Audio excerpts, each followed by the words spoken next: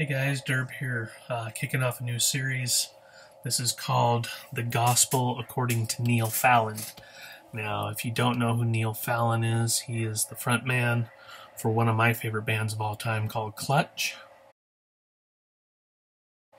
Um, he also has a new side project called Dunsmuir, so if you get a chance, get their album. It's out now.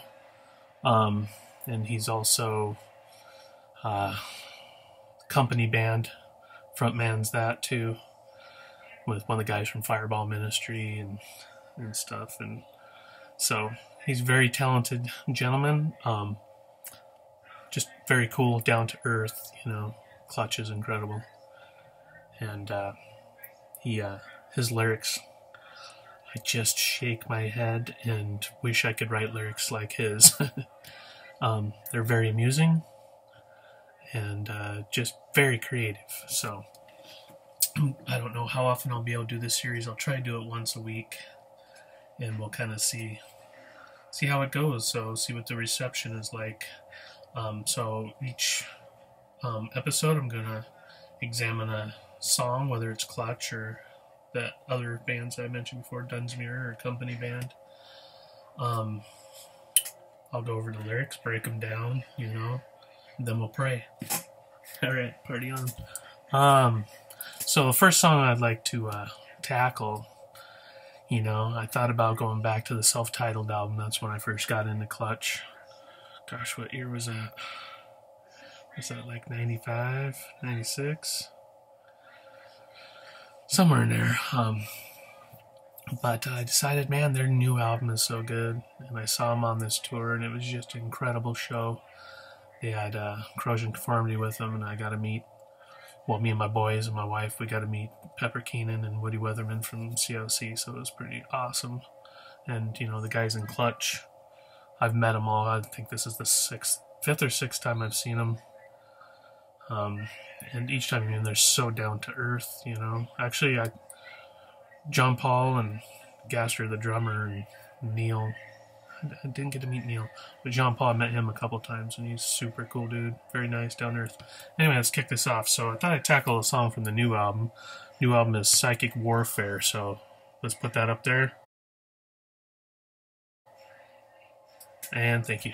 Okay, so pick that up if you don't have it, if you're Clutch fan, or you know, go check out a couple of their songs, but definitely buy their stuff, buy their albums.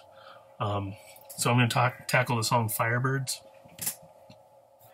Outstanding song. Love it. Um, so, first verse. Okay. Outside of needles, I nearly lost my mind. I pulled over on the shoulder. Yeah, I was there some time. A young thing came walking from out behind the trees. She gave me consolations, and this is what she said to me. So, needles must be a location. Unfamiliar with it, you know. I mean, there's so many points, so many things that Neil Fallon hits that, gosh, you know, I like to think myself as a fairly knowledgeable person, but even I don't know. But you know, there's some cool, cool stuff in there. Um, so outside of Needles, he nearly lost his mind. Don't know why he was losing his mind. He didn't explain. He pulled over on the shoulder. He was there for some time. Young thing came walking. I assume a young female, obviously. Probably not too young, but you know, young 20s, I would picture, late teens maybe. She walked out from behind the trees, you know. She gave me consolations. This is what she said to me. So it goes into the chorus here Firebirds, energy weapons. Both of these things are interesting to me. I don't care how you get them. I need them both, and I need them urgently. Brilliant chorus. You know, Firebirds. What's that say to you? So, can mean many things. Um, you know, Firebird the car, Pontiac Firebird. Um, airplane. There's a spy plane that's been out for a few years now, I guess, called the Firebird. Um, you know, the legend of the Phoenix. There's also legend of the Firebird. It's some Slavic legend, from what I understand. You know, with Neil, you never know which one of these things it would cover. But she's looking for energy weapons too, you know. So I find this very interesting. Does she want a car in the energy weapons, or is she looking for high tech space or high tech spy plane and some energy weapons? Those two go pretty good together, but with Neil, he, he uses a lot of cool old muscle car references and some of this stuff too. Um, so you never know. I'm gonna go with the car. Firebirds and energy weapons, but hey, could go either way. This is just what I get from it. She doesn't care how he gets them. She needs them both. She needs them urgently. So that's kind of an odd thing for somebody to say when they walk up to you, I think. Firebirds, energy weapons. I need them both. I need them urgently. Okay? Don't care how you get them. Okay. So anyway, going on to the second verse. Yeah, I said I can get with that. Oh, I like those things too. But I don't own a Firebird. Perhaps this Datsun will do. Outside of the valley, yeah, we got to overheating. She took off her sunglasses and said, I believe this bears repeating. So, obviously, he says, I don't own a Firebird. Perhaps this Datsun will do. So, there you have it. I Firebird the car. Okay, Datsun is a car, so obviously he thinks she's talking about the car. So he says, "Oh, I like those things too." I mean, some strange chick comes out of the woods and says she wants some Firebirds and energy weapons. He's like, "Oh yeah, yeah, yeah, me too. That's awesome." Um, so they hop in his Datsun, obviously. Gets to overheating, so maybe that's why he had to pull over on the shoulder outside of Needles. His car was overheating, right? It's an old Datsun, so you never know. so she's frustrated. She takes off her sunglasses and says, I believe this bears repeating. Then it goes in the chorus again. Firebirds, energy weapons, both these things are interesting to me. I don't care how you get them, I need them both and I need them urgently. Goes through the chorus again. You know, you got yourself a solo or a breakdown or whatever.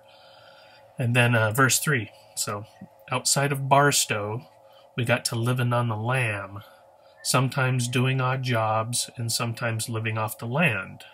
Yeah, things went sour, and the girl, she got to packing. When I asked her why, she said there are two things that you're lacking. Wonder what two things those are, right?